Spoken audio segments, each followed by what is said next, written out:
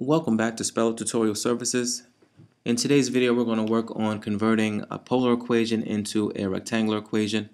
Let's quickly review.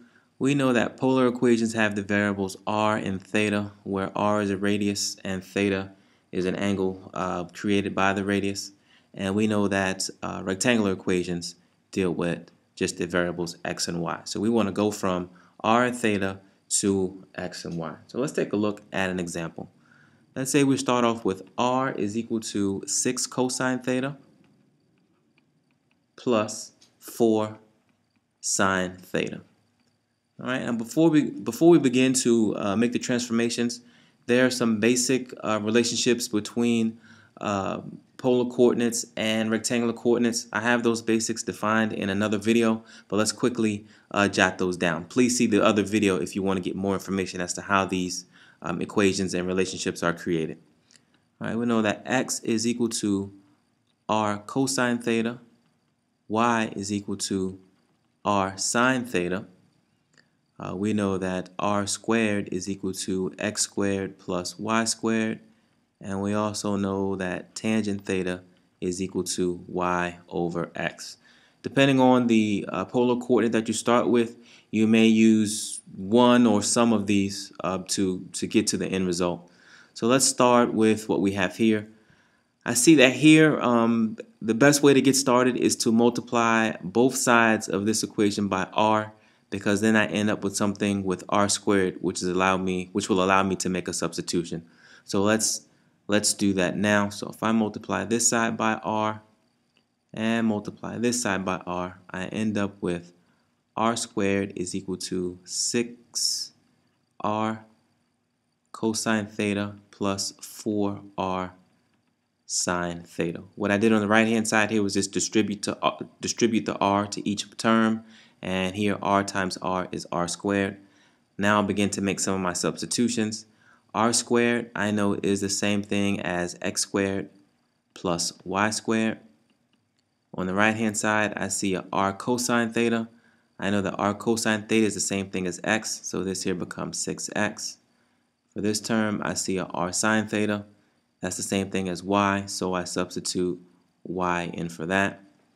Now I have this equation here where everything is in terms of x and y's, but I want to put it in a more uh, general uh, form so it would be easier to graph if my next step uh, were to graph. So first, let's move all of my terms to one side. So let's start off with 6, I'm sorry, x squared I'm going to subtract a 6x from both sides. Keep my y squared. Then I'm going to subtract a 4y from both sides. So I'm left with an equation that looks like so. Now I need to do something called completing the square. Completing the square allows me to put this in a more compact form. So completing the square is where I'm going to separate plus y squared minus 4y plus some other term and that's equal to 0. All completing the square does is allow you to factor or make this um, equation here more compact. So to complete the square I'm going to take negative 6 because the negative 6 is with the um, term here to the first power. I take half of that and then I square the result. So half of negative 6 is negative 3 and when I square a negative 3 that gives me a positive 9. So I place a 9 here. Going back to rules of algebra, I know that if I do something to one side of the equation, I must do it to the other side of the equation. So if I'm going to add a value of 9 units here, I need to make sure I add a value of 9 units to the other side of the equation to keep it balanced. Now I'm going to complete the square for my y terms. Uh, the coefficient of uh, y here to the first power is negative 4.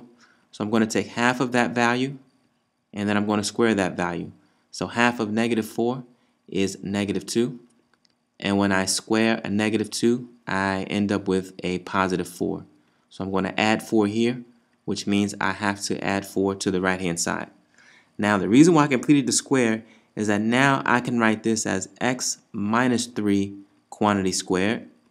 And for these three terms here, for the y terms, I can rewrite this as y minus 2 quantity squared and then I add my 9 plus 4 plus 0 and that gives me 13 so now I've converted this polar coordinate into a rectangular coordinate. And if you remember um, some of the equations from Algebra 2 and also in uh, pre-calculus, you know that this here is an equation of a circle. Thank you again for watching another video from Speller Tutorial Services. Please friend us on Facebook and also check out our other videos on Facebook as well as our YouTube page. Both pages found under the name Speller Tutorial. Thanks again.